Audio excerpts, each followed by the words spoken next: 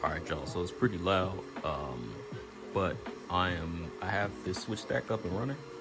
However, connecting these switches, usually, you know, when I was working at the University of Chicago, just to be on the safe side, safe side, we would always boot up the first switch first and then boot each one one, one at a time.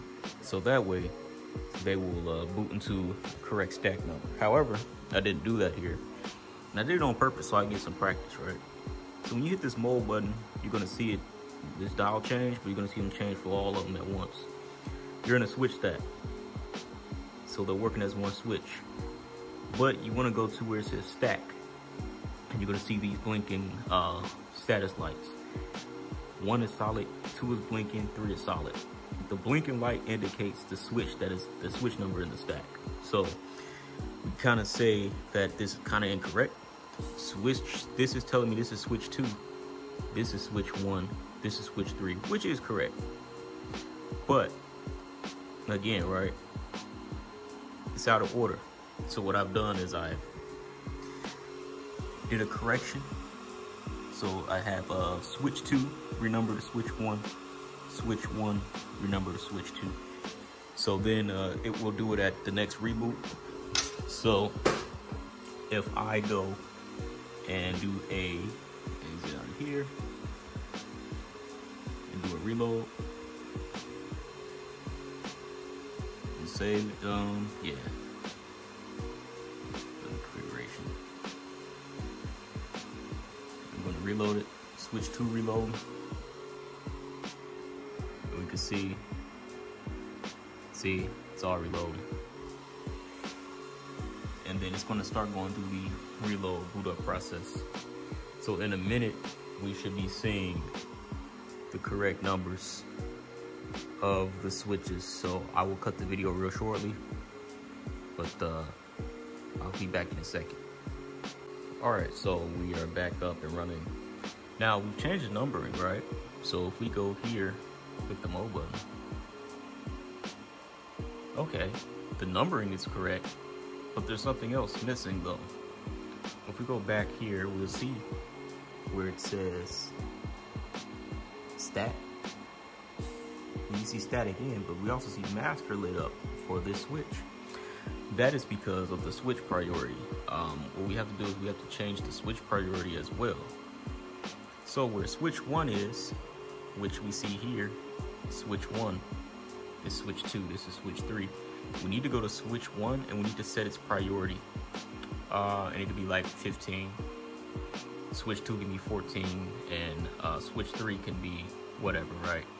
Just say 13. So that's what we're gonna do here. Okay, so we, we wanna do is wanna do a show switch. And we can see currently um, switch two is the master, which is what we see, which was what we saw in the previous clip. So what we wanna do is we wanna go to um, config T, global configuration mode, and then we wanna do switch one, right? Question mark. Gonna do priority. Priority. What options do we got? We got 15. So let's do 15. Yes. New prior has been set successfully. We wanna do it again. Let's do 14 and we're gonna do switch two. Okay. And now for switch three, we can set it to, we can set it to, um, to 13, but I've also seen it where it just wasn't anything set for it. But in this case, there's only gonna be three switches in this stack, so we're just gonna set it to 13. Okay, we do N. So, if we go back and we do a show switch, we're now going to see the um, the priorities are up. What we want to do next is we want to do a reload again.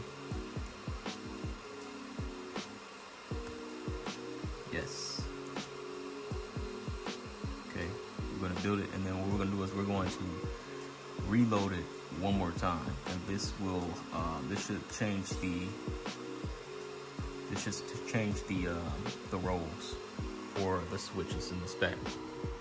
So again, we will come back. Now, I could have did this in the last reload. Could have did all of them at once, but we're just gonna do it one at a time. So we'll be back, let these switches reload, and uh, I'll see you in the next clip. All right, so we can see where it says switch one, booting as master, waiting for port download, and it's doing this thing, right? It's doing this entire thing, and we can even see it. One. So if we go to the stack here, after it's done doing its um, its election, its master election, see everything is coming up. Okay, guess what? Look what we see. You see the top is master now. So we go here. See switch one, switch two, switch three. Switch one's the master. So this is how you're able to, um, you know, get the stacks in. They're going to be out of order. How to switch them and change them to the correct order, and then how to also, you know, number them and uh, elect the master via switch priorities. So that's how you do it. So now what I have to do here, I have the Cisco Nexus and the VPCs. Uh, this is a port channel one, port channel one on VPC 100. They're going to be going down to this switch stack here. So I will create the, the port channel on this stack. Port channel, I guess I can call it port channel one. This one is port channel one. Boom, and that'll bring this this entire link aggregation up. And then I will have the firewall. I guess you can call this a core switch, the distro, and the switch stack up and running.